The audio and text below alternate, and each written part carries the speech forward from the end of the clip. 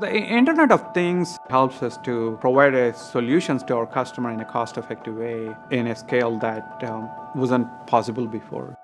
The Sentinel is a one-stop shop for end-to-end electronic monitoring solutions.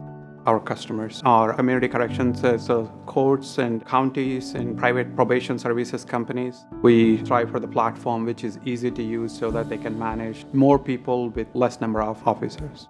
Traditionally, people coming out of the prison and, and the chances of them committing and going back is actually 30%.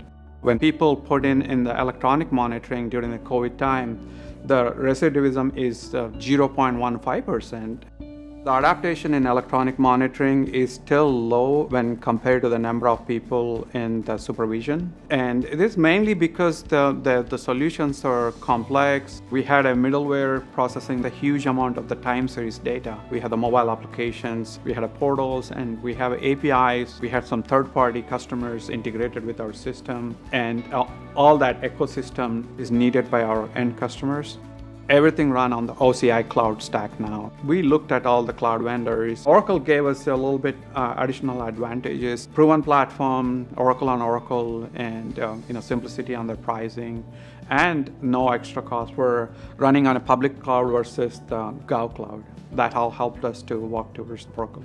The contracts, once you go from uh, state to the federal level, they require um, FedRAMP certification for the stack, and that helps us to you know, participate on those uh, larger RFPs.